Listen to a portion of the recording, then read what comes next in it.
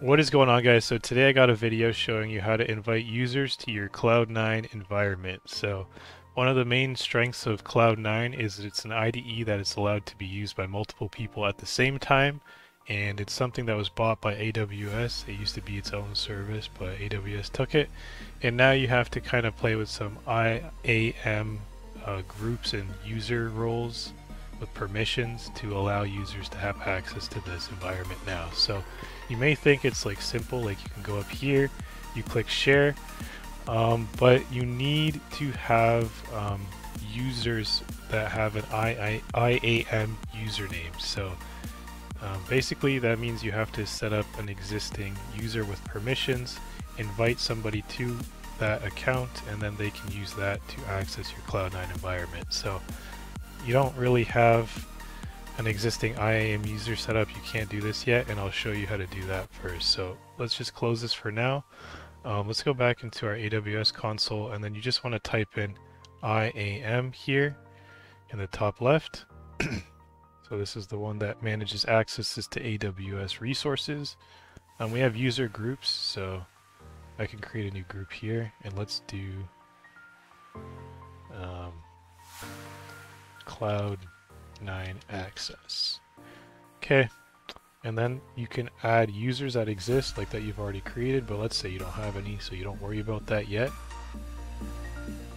You want to add some permissions. The Cloud9 administrator permission is probably the best one to add here. Now let's just type in Cloud9, hit enter, and here are the permissions that you can add. AWS Cloud9 Administrator gives you basically these two combined plus extra permissions, so just use that one. Lets them have admin access to the environment. Up to you if you want to change that, but I'm going to create the group now. So Cloud9 access has been created, and now I want to create a user and invite my friend to that user account so that they can use this Cloud9 environment. So add users,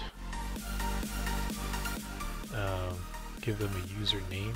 Um, so we can just say like test account. Enable console access, sure. Uh, users to,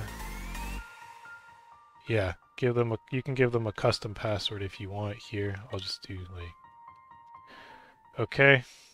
Um, and then users must create a new password at next sign in. Yes, uh, you can just leave that selected. And then we can go next. Oh my god, okay.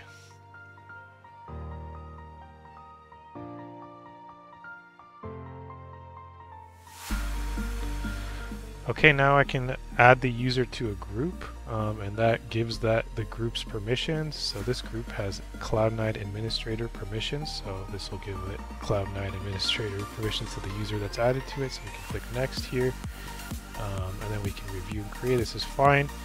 Create the user, and this is an important step here. So you can click email sign in instructions. So just click this. It's going to open your um, email app on your computer and this is basically where I'm just gonna remove my email here or I can't I'll blur that out but um you just type in some extra stuff if you want into this email um, but here is sign in instructions into the AWS account and this is the username and you can give them the password separately like over a message or text or whatever you want and that allows them to log into this account that you've created for them so now that they can do that and you have an IAM user set up for them, I'm going to close this because you guys can figure that out. You can send that email out.